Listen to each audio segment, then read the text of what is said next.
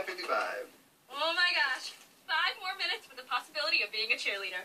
This is like Christmas morning, my birthday, and the first time I smelled the Justin Bieber perfume wrapped into one.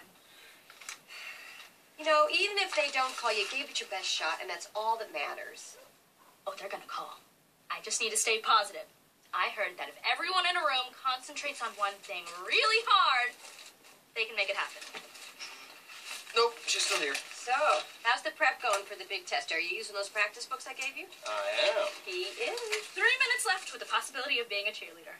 This is so exciting. In three minutes, will my life stay the same, or will it get so much better? I predict it will get worse, and when it does, Brick owes me five bucks. Hey, I said no side bets. Two and a half minutes left with the possibility of being a cheerleader. But you know what? Even if I don't make it, it's gonna be fine. It's gonna be so fine. Oh my gosh, they're not calling! I tried and I didn't make it. My life is over. But I guess the way the old cookie crumbles. Just gotta roll with the punches and all that jazz. Why aren't they calling? Is that clock passed? Are these phones working? Why can't this family have better phones and clocks? Oh my god, I want this so bad. I can't breathe. No one help her. Honey, you're looking kind of pale. Maybe you should eat something. One minute left with the possibility of being a cheerleader.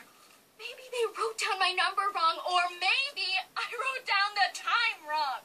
Oh my gosh, I can't take this anymore. I should just walk away. A watch phone never rings.